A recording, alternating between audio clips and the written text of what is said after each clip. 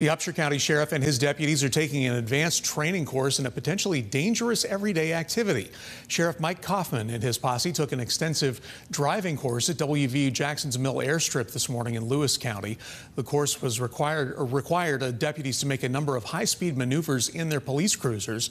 The training instructor is a retired law enforcement officer from Marion County, Florida, where he says this type of training is required once a year. Uh, there's more officers killed in the line of duty in automobile accidents there is actual gunfire. Uh, so it's very important to practice what they learn out here on the course once they get into the real world exercises in, in, on the road. To me, anytime we do something on a daily basis, that's what we should be training. This is a hands-on class that uh, shows the officers, reminds them what what the cars will uh, do. You know, this teaches the officers how to better drive to emergency response and just be better drivers in general. Sheriff Coffman petitioned the state getting approval for his deputies to receive in service credits for today's training.